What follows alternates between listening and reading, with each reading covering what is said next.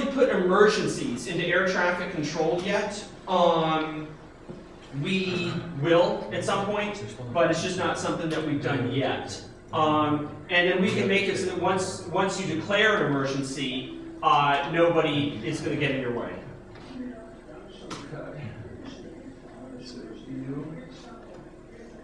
Uh,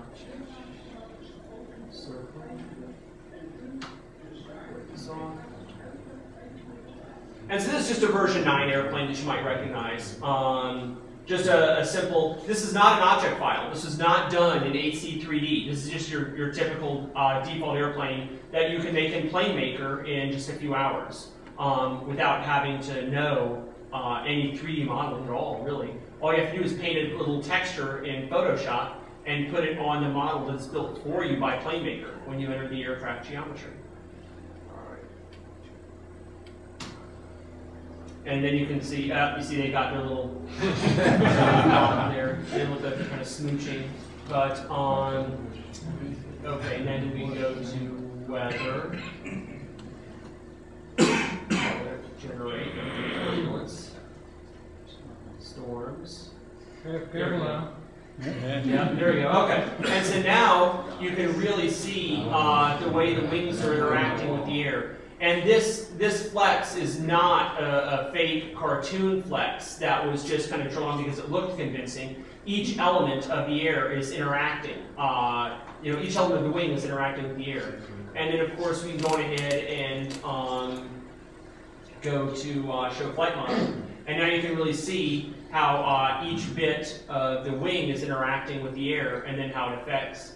And um, and then you can see the way the velocity vectors are moving over, moving over time. And then an interesting thing might be to go view, uh, view still spot.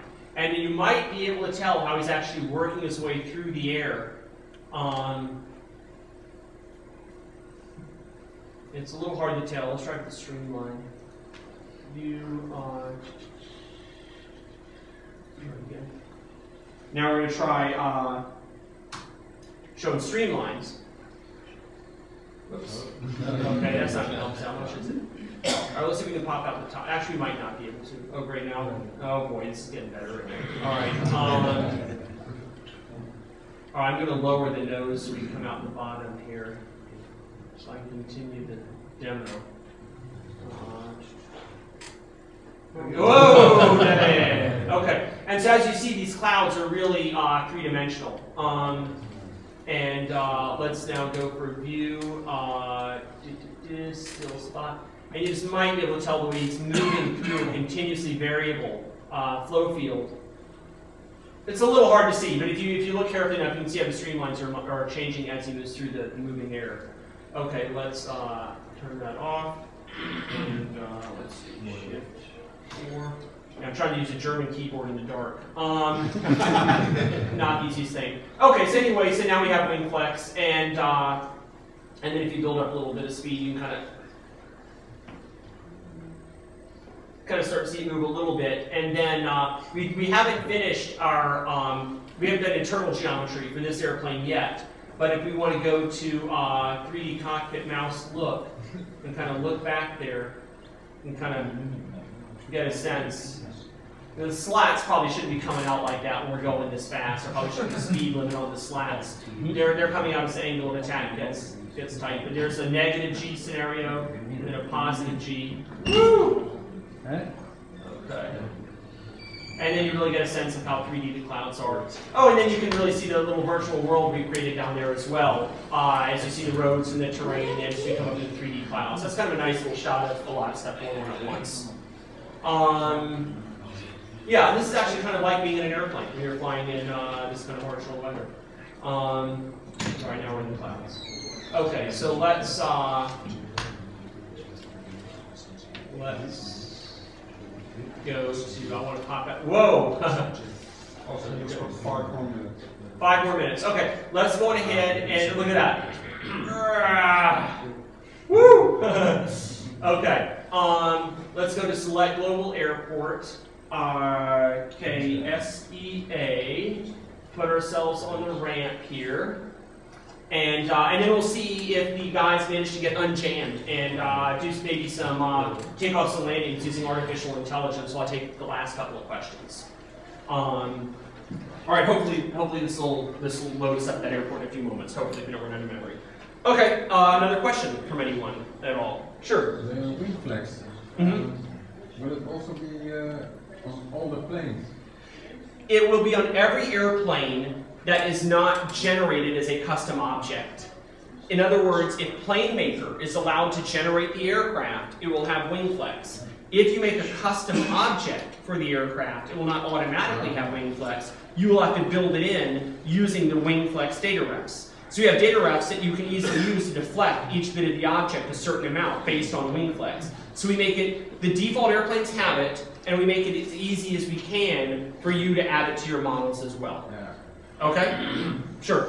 In your plausible world, how do the waterfalls look like? The waterfalls? Yeah. I don't know. Ask me later on tonight. I'll maybe I'll have a chance to find one. Um, they spent a lot of work making sure that the rivers don't crawl up the canyon walls. like when we go to the Grand Canyon, yeah, we don't want the rivers to be you know offset to the side just a little bit and running along the side of the, the canyon walls. And they spent a lot of work uh, doing basically two things. One is finding good databases. Okay, finding good hydrology databases that don't conflict with the elevation databases and then finally using artificial intelligence to make sure the water always sits at the bottom. The artists tell me that they've got it solved. I'm not going to know that for certain until I've done a little bit of Grand Canyon flying. And I only have Seattle scenery here, not Grand Canyon scenery. Okay? What? Sure. Uh, if you're flying through a city, do you see the skyscrapers? Uh, yes, you will see skyscrapers in the city, but they're only going to be kind of generic skyscrapers, not exactly the real ones you'd see for real. But um, there are going to be skyscrapers, but perhaps of limited. Thanks. Okay, no problem. Perhaps of uh, limited variety at first, but over time we're going to have internet add-ons or internet updates to this to this product, uh, and we'll add more and more complex, complex and complete buildings over time. Okay. Uh, yes. What about the integration of OpenStreetMaps? Yeah. OpenStreetMaps is what we use. Ah, This is already an OpenStreetMap sim, and we are actually going to set the scenery up even to, for net updates sometime in the coming year. And so as OpenStreetMaps are improved by users, our road database is going to improve even in X-Plane. Okay? All right, well, I think we probably run this thing down into the ground. So, um, yes. Is there a way for the ATC system to know if there is rain somewhere else except where the plane is at that uh, If there's wind, uh, rain? Oh, rain. Uh, the air traffic control system does not look at weather right now, but remember, the weather is globally persistent. If there are clouds drawn off in another area of the country, then the rain will be there when you fly that area of the country. And you saw with the clouds just now as we were flying that um, you could see the clouds a little ways away and you could fly into them and fly out of them.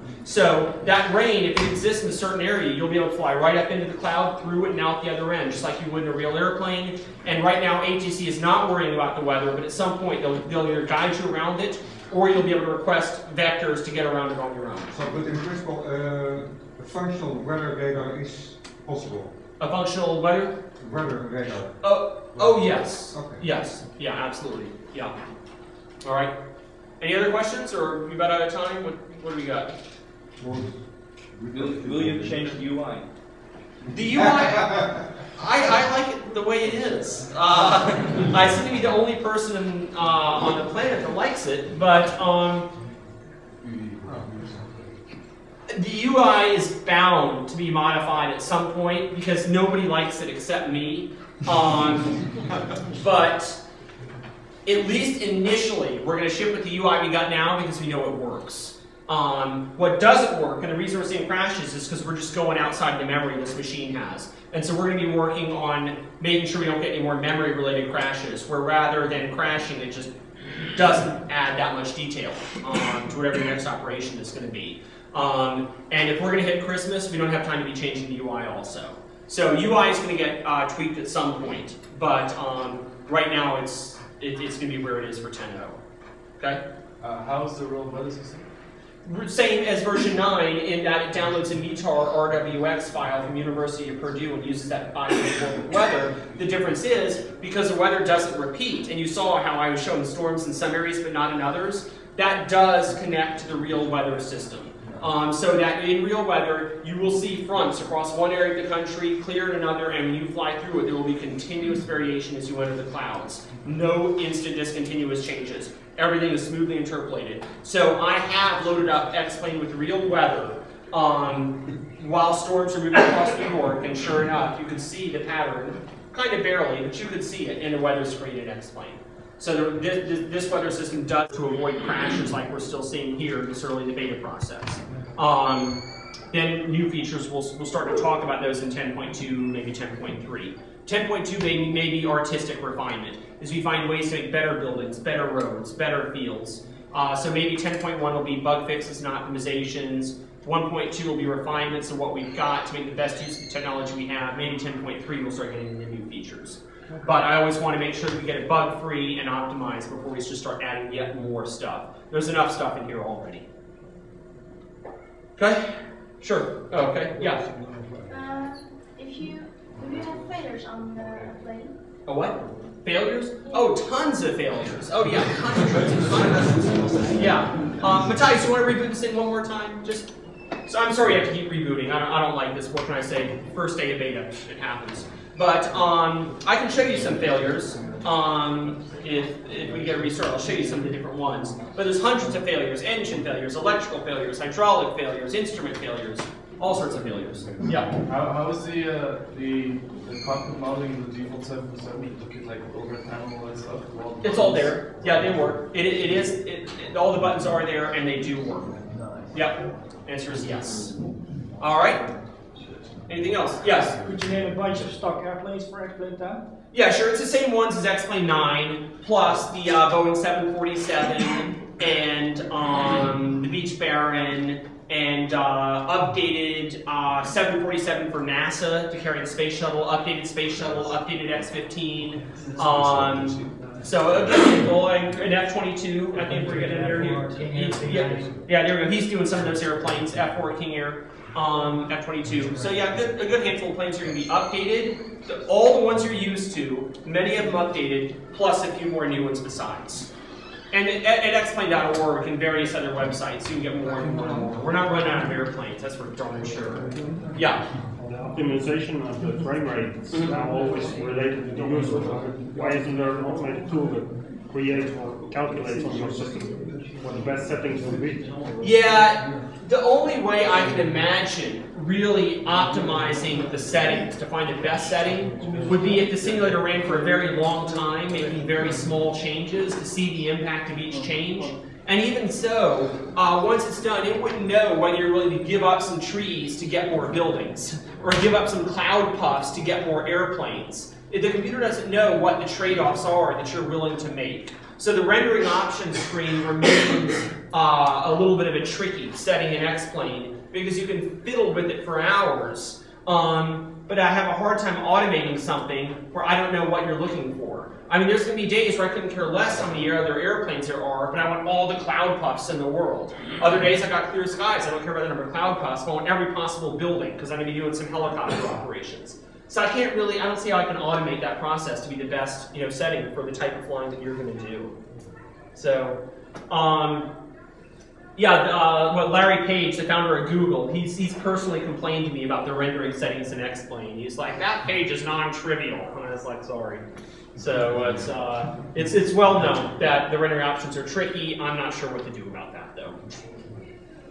All right? Sure. Any fighters? Yeah, F-22, F-4, uh, Viggen, same like you got out there. Um, handful of fighters. Mhm. Yep. And uh, it's a little bit of a shame we don't have any World War II fighters, but I, we've got to get one in. Uh, somebody did an amazing Hurricane. Nils Danielson, I think it is, did an amazing uh, Hurricane World War II fighter, and he agreed to let me put it in X-Plane 10. So uh, we'll have we'll have a World War II fighter in there as well, at least one. Okay. Yes. How's the Phantom been reworked? Yes. Now for a fan and reworked by Tom Tyler. and uh, it looks really good. The afterburners use the dynamic lighting to light up the tails, right? And um, so it, it's great. 3D cockpit, I think, at least, yeah, on the front. On the front, okay.